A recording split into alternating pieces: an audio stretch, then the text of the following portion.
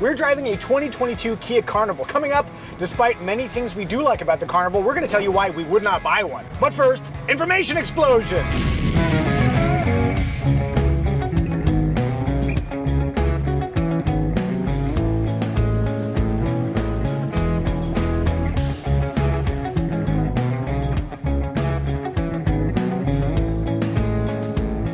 Minivans are all about the interior, so let's start there. Sweetie, what do you think of the style of the interior of the Kia Carnival? It is one of the most stylish minivans I've seen. I think there's a lot of design in a segment where you normally don't see a lot of design. Yeah, the look and feel of a lot of these toggle switches is really unique. They're so beefy. You like a beefy switch, do you? Apparently, I do. Oh my. do you know what's missing in this region? I don't. Somewhere to throw your purse. Oftentimes, when you're in a minivan, you've got this big open area down here. In fact, that was one of the most controversial elements of the Toyota Sienna we drove, is that they had the bridge console, which covered this area up. This whole thing where you've got the shifter, you've taken away a big uh, bit of space that oftentimes minivan people absolutely love.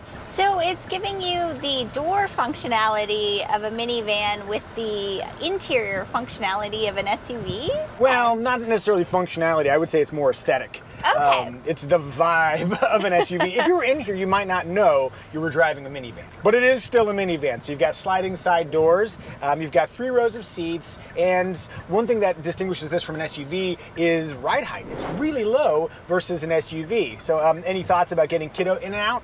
Oh, so easy. She can step right in. She's in the second row, though. Mm-hmm. Yeah, so we're driving the SX Prestige package because this is a press vehicle. It's the fanciest of carnivals. Doot, doot, doot, doot, doot, doot, doot.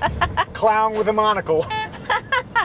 Because it's the SX Prestige package, it has these super fancy second row seats, which are really cool. You've got um, power adjustment, you've got these little uh, Ottoman style leg supports that you can uh, flip up here. In fact, Kiddo's making good use of them right now. Uh, you can uh, tilt the seat back. There's a ton of flexibility. On the side, you have these manual adjustments. If you want to slide the seat forward and aft, you have to pull the release and physically slide it forward and back. You can also slide it inboard and outboard, kind of akin to um, the buddy mode feature in the Honda Odyssey, though there's a much wider range of inboard movement with the Honda solution than there is here in the Carnival. Mm. I dig the second row seats because they're so darn fancy, but there's a problem. Sweetie, can you tell us about the problem? Could not figure out an easy way to move that second row seat out of the way so that she could access the third row. I couldn't figure that out either. Normally there would be a lever, a button, a switch. There's some way to tilt the seat forward and slide it out of the way. I don't think that exists. So the solution is pull the lever, slide it as far forward as you can, and then reach over to the inboard power adjustment and angle the seat back forward. We might be stupid. In fact, in many ways, we probably are stupid, but do you know a way to get the second row seats in the SX Prestige package out of the way? I couldn't find it. I get paid to do this. to me, that is a, um, a good reason not to get the SX Prestige package. Usage of the third row is kind of a critical component in minivan ownership. If you can't get to the third row, it's almost like you don't have one. That's true. Regarding second row space, um, there's plenty of space there. Um, the third row, I found okay. I was a little, I don't want to say underwhelmed, but I, I, I wasn't whelmed by the third row space. The second row seats in this one too are also not removable, which means that if you want to um, have your minivan set up for cargo hauling, you kind of can't make use of all the cargo space because those seats are never coming out. The infotainment that is back there is just basically an iPad stuck to the back of the seat. So that makes it more difficult for our daughter to um, climb in and out of it. A quick note about the latch points. They're totally exposed, which is makes it very easy to install the car seat. I should mention that the uh, fanciest trim uh, only includes seven seats, and the least fancy trim only includes seven seats. Uh, if you want eight seats, uh, it is optional on the base trim, and then standard on the other trims. One thing I really do like from a family friendliness perspective is the fact that seven USB ports come standard, and they're spread throughout all three rows. So even in the third row, in the cheapest Carnival tram, you can still have um, power to uh, keep your kids uh, distracted and happy. Cargo space is really good. After the third row, there are 40.2 cubic feet of space, which is uh, stupendous. That's outrageous. It's absurd. Pull out the uh, thesaurus so we can come up with other words to describe how good it is. And I find the uh, third row functionality um, pretty easy. It's it's simple to uh, pull the seats down into the retracted position. Um, although I did have one time where kind of got caught into a midway spot and I couldn't release it. Things got a little bit awkward. And then I hurt my finger while trying to, uh, to, to sort it out. That might be user error, but I've never had that happen with the Honda Odyssey. Assuming you have a Carnival where you can remove the second row seats, uh, there's like a, more than 145 cubic feet of space, which is really, really good for the segment. So you can get a version of this where you could do some legit cargo hauling. It'd be awesome. You'll have to buy a bunch of stuff just to justify having your Kia Carnival. Snow cone machine, cotton candy machine. Yeah, yeah, the churro heater. Yeah, like uh, if you're buying a Carnival, you have to buy on theme. A safety note, the National Highway Transportation and Safety Administration has not rated the Carnival just yet, but it includes a full suite of active driver assists like automatic emergency braking, lane keeping assist, which I'm activating right now, and it's doing a great job keeping us centered, hooray! And there's a rear occupant sensor system, and not just one of the ones where you've opened the door and it's like, well, you must have put something back there, we better alert you. This has standard ultrasonic sensors. You can see it right up here. So if you accidentally leave a child in the back of your Carnival, the vehicle will detect motion and start honking.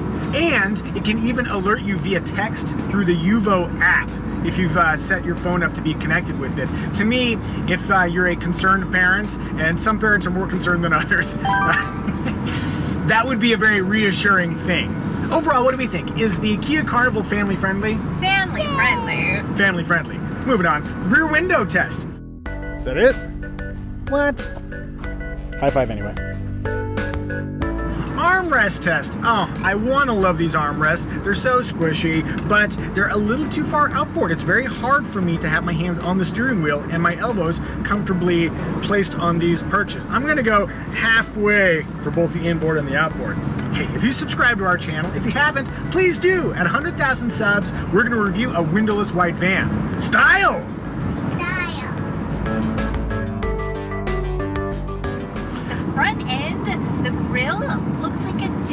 Ball to me.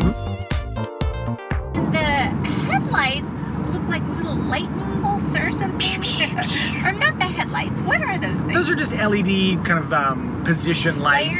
Yeah, yeah, they're, they're fashion lights. I love the fashion lights. I think it looks like a bit much, but you're trying to like minimize the minivanness of a minivan, and that's certainly one way to do it. So it hides its minivanness well. You know what hides um, the minivan style even more? Not buying a minivan. But what do you guys think? Do you like the style of the Kia Carnival? Tell us in the comments. If you're curious what I'm driving or flying between YouTube videos, give me a follow on Instagram. And if you want to see what our family's up to, give Evie a follow. In motion! We are just making our way through um, desolation. and as we do that, uh, there's the uh, things you'd want in a minivan. Uh, fairly quiet cabin, smooth ride. One of the things I noticed while driving around is that the turning circle is incredible in this thing. Very, very tight turning circle. So that um, low speed, I'm going shopping kind of maneuverability is a real plus. As far as power, I'm going to floor it.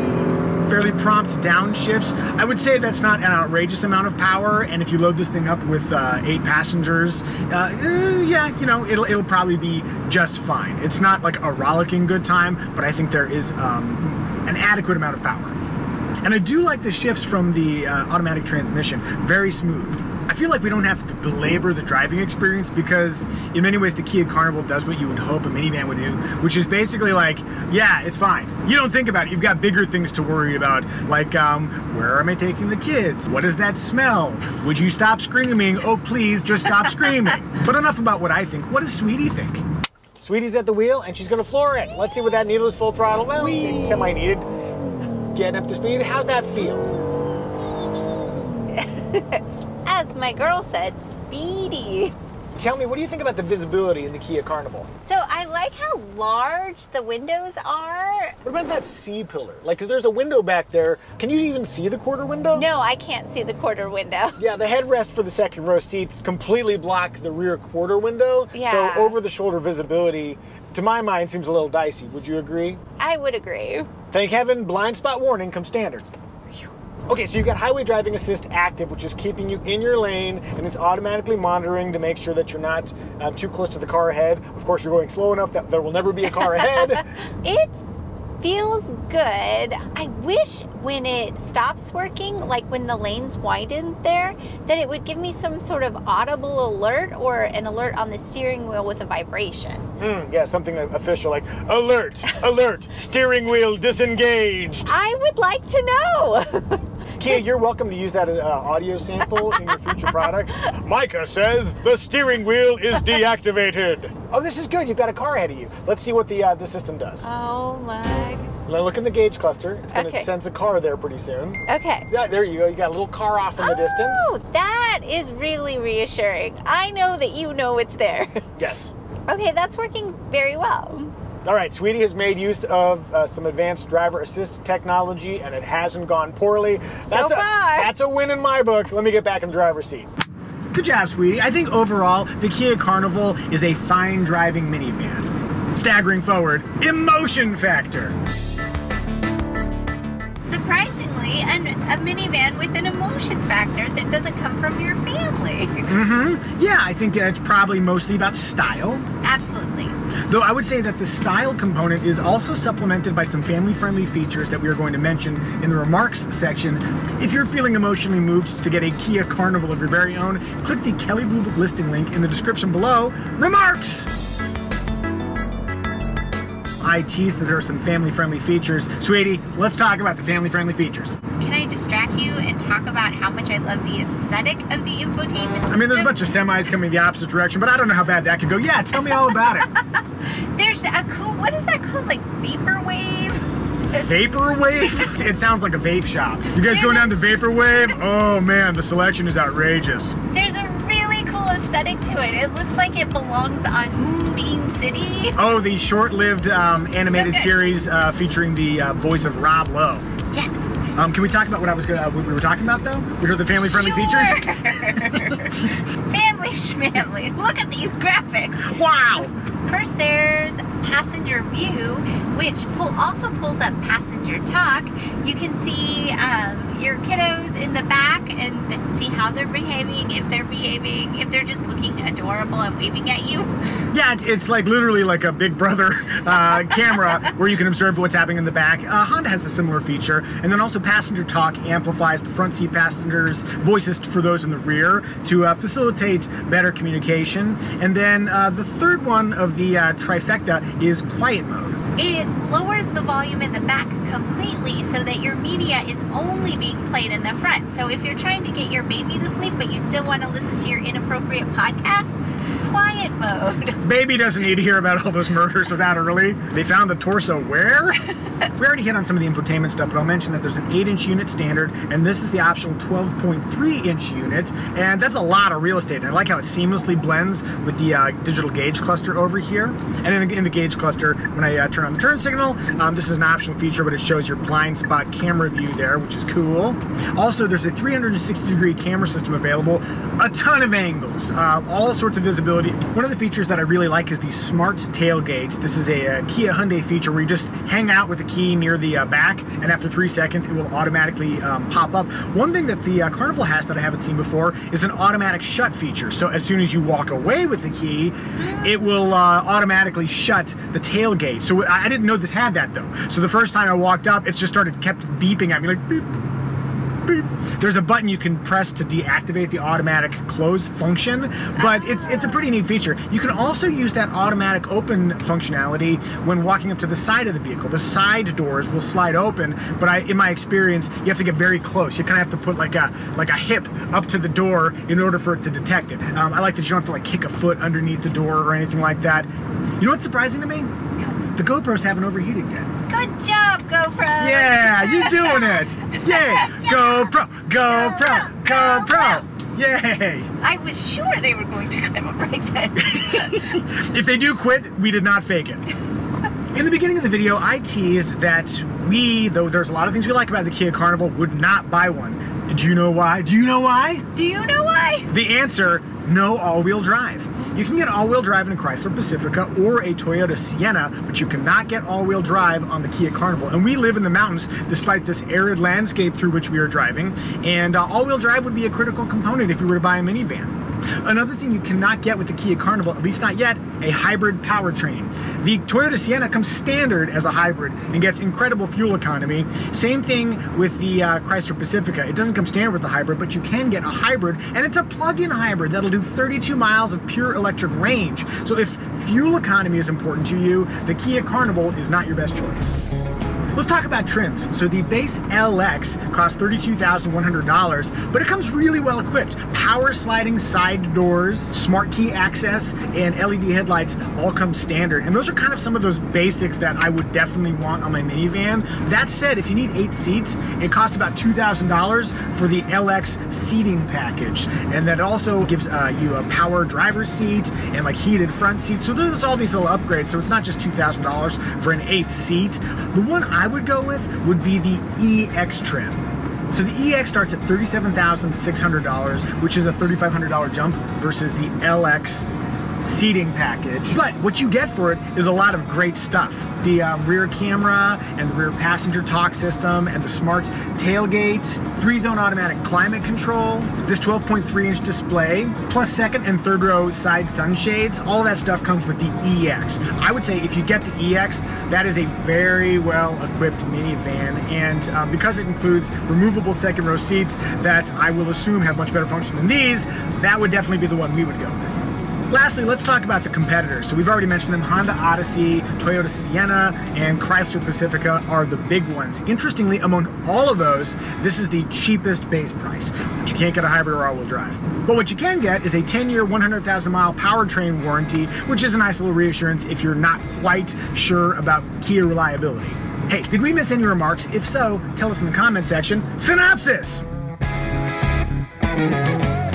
In thinking about the essence of the Kia Carnival, they've taken something that's very much like eating your vegetables, which is minivan ownership, and they've enhanced it in a way to kind of take the, the edge off of that, to make it much more palatable. To me, it's the new American version of a Brussels sprout of minivans. Brussels sprouts, we used to eat them as kids and hated them, but now it's like, do you have Brussels? Sure, yeah, balsamic glaze, great. And the disco ball grill is like the bacon crumbles on top. Yes. Parmesan. Hey, we're not judging, whatever. Hey, if you like this video, please hit the like button. And if you'd like to see more of these kinds of videos, maybe in a minivan, maybe in a helicopter, who knows what we'll be doing, hit that subscribe button. Family, I think we did it. Good job reviewing the Kia Carnival. High five, high five, and you. Come get your high five. Ah!